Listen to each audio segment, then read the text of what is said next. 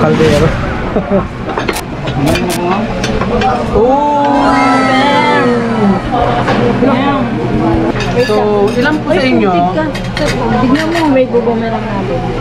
sa mga mahilig sa halo-halo, huwag niyong kalimutan tikman yung halo-halo ng BNK. What's up mga sa TikTok TV is in the house again at ngayong araw na ito ay mag-aalmusal daw kami sa may ano, BNK. Time check 6 o'clock AM. So, Bakit daw? Sabi ko, hinihintay lang kayo sa... let's go na.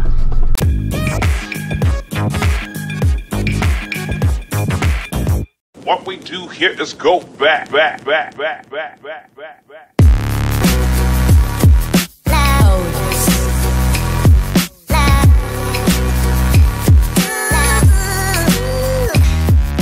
BNK Coffee and Resto. Nandito tayo ngayon sa BNK. At ano ito saan, ha? Para mag-unos. Para mag-almusal. Gumising kami para pumunta lang dito para mag-almusal. So yan. We are open daily for dine-in and take-out. And Resto.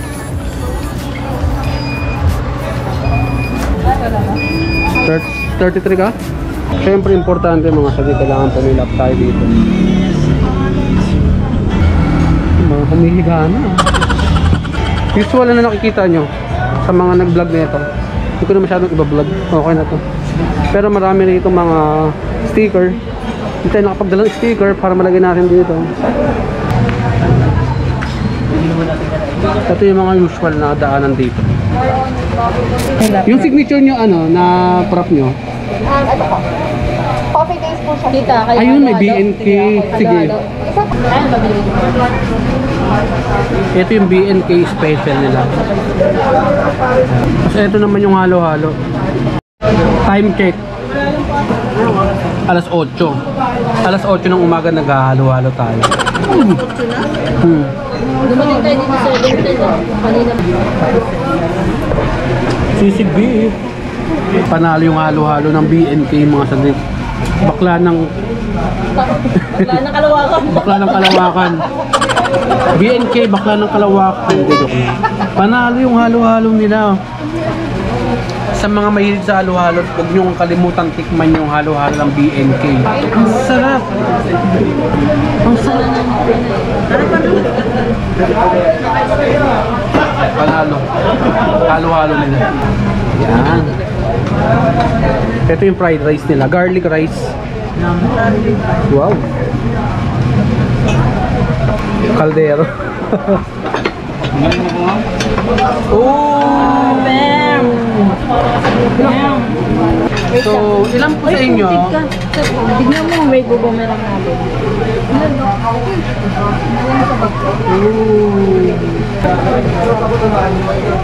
Ano?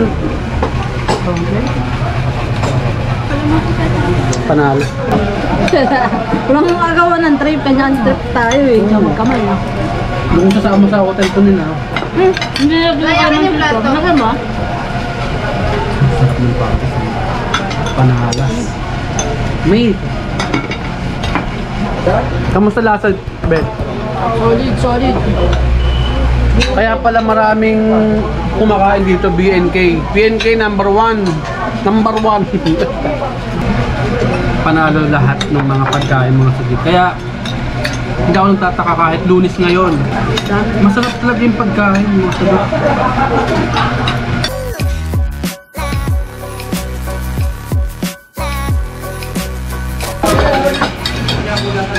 Pagkatapos yung kumain sa mga ganitong resto, o kahit saan, magugas kayo. Hindi, try nyo kahit magganto man lang, yung ipunan nyo man lang sa isang gilid. Malaking tulong mo sa ano. Dito tayo ngayon sa Martesim. So may entrance fee dito na 50 pesos kung hindi ka kakain. Pero pag kakain ka, tingin ko wala naman siguro. So kumain na lang kayo kung marami kayo para di na magbayad. Tapos yung view dito sa likod, kita nyo naman. Overlooking.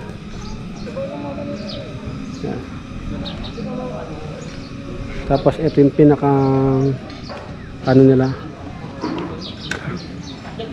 canteen. Damn. Uh. Yeah.